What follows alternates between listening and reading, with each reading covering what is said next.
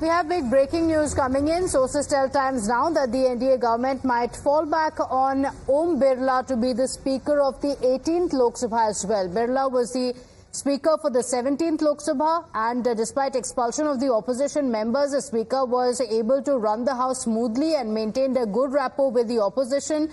The government now feels that Birla's experience will come handy given the party's position. So big update coming in. Om Birla's name is under consideration.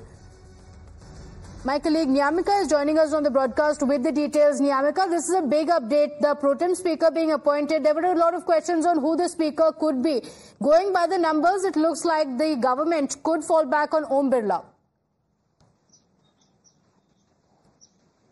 Uh, this is the latest information which uh, we are getting as uh, if we talk about pro tem speaker in particular, then um, uh, the manner in which politics is now being started on uh, this entire matter. Now, uh, we have seen that how the Congress leaders have reacted over this entire matter as the the Congress party is stating that as per the experience, um, Kodikunnil Suresh is basically a term MP and for that reason he is the senior most leader within the Lok Sabha and for that reason they are demanding that the government should have appointed him him as the pro tem speaker in Lok Sabha, but that is not being done, uh, done as uh, the Congress party is alleging that it is just because uh, K. Suresh is a member of the Congress party and that's the reason why uh, the BJP is not ready to appoint him as the pro tem speaker. And in fact, we have also seen that how the Congress party's General Secretary Jairam Ramesh has also, uh, you know, commented over this entire matter as uh, he has also said that by tradition and convention, the MP who has served the maximum terms is appointed as the pro tem speaker and that is basically K. Suresh. But the uh, the government of India is not ready to do so just because he is a member of the Congress party as uh,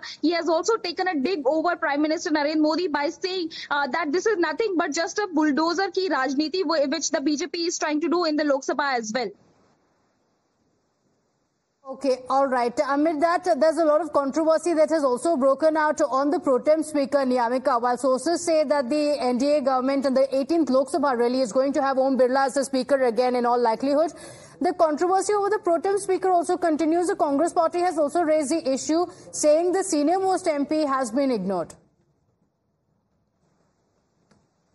Absolutely, as uh, just now we have seen that, how the reaction has uh, come on the part of the Congress General Secretary Jairam Ramesh has this is not just uh, being raised by Jairam Ramesh, but the other Congress MPs as well are raising the same kind of uh, uh, the issue as uh, we have seen that how the Congress party's elected MP Manickam Tagore was the first one who had uh, tweeted uh, regarding this matter as he has also mentioned it clearly that it should be Kodikunnil Suresh who should be appointed as the pro tem speaker because he is the he has served the maximum number of times in Lok Sabha as he's a eight term MP and that's the reason why the Congress party is demanding that instead of appointing some other uh, person as the pro tem speaker, the uh, the the uh, union government should appoint uh, K. Suresh as the pro tem speaker in Lok Sabha.